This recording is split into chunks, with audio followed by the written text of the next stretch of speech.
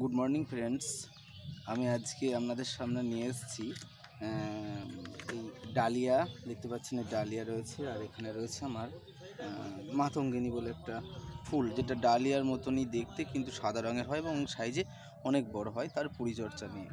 শীতকালীন ডালিয়া ফুলের পরিচর্যার জন্য আমাদেরকে বেশ কিছুটা কেয়ার নিতে হয় ডালিয়া ফুলের উপর। কারণ এই টাইমটা হচ্ছে এদের ফ্লাওয়ারিংয়ের টাইম তাই এই যে ডালিয়া এবং আমরা দেখতে পাচ্ছেন এখানে অনেক গাছ রয়েছে।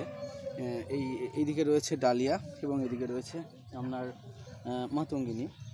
তা এর মাটি তৈরি করতে, করার জন্য আমাদেরকে গোবর সার, তার সঙ্গে গার্ডেনিংয়ের নর্মাল মাটি এবং তার সঙ্গে কিছু সুপার ফসফেট সার সিংকুচি হাড়গুঁড়ো প্রভৃতি মিশিয়ে আমাদেরকে মাটিটা তৈরি করতে হয়।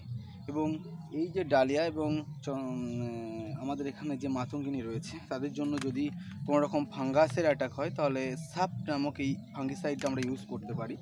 এবং কিছুদিন পর থেকে এগুলোতে কুড়ি আসবে, তাই ফুল যাতে অধিক পরিমাণে হয়, সেজন্য আমার হাতে এটা রয়েছে, দেখতে পাচ্ছেন, এটা পটাশ এই পটাশ সারের ব্যবহার আমরা করতে পারি যাতে ফুলের সাইজ বড় হবে এবং ফুলের কুড়ির সংখ্যা অনেক বেশি হবে।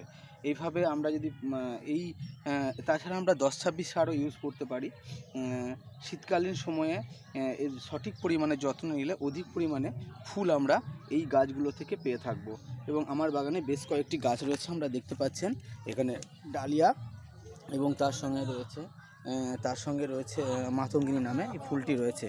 তাই সঠিক পরিচর্যায় অধিক ফুল দেওয়ার জন্য উপযোগী হতে পারে। নমস্কার।